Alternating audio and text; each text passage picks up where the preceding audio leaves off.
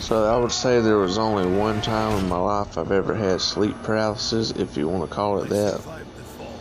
But I mean, maybe it's not. But one time I would used to, well, I used to sleep in the living room on an air mattress a lot.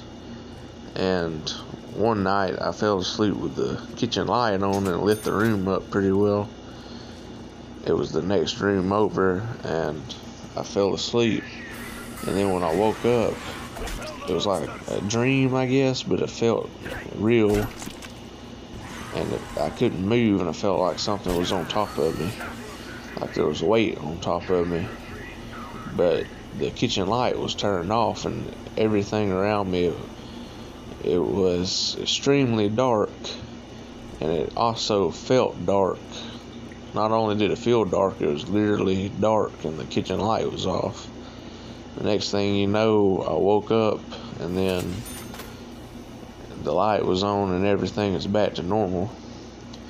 But that's the only weird sleep experience I would say I've ever had, and hopefully it'll be the last. And I'd say it probably will be. I think that happened when I was probably around 17. So it's been a few years since then, but uh, nothing's happened, so I think that'll probably be the last time. Anyway, hopefully y'all like this video and check more of my page out and I'll see y'all later.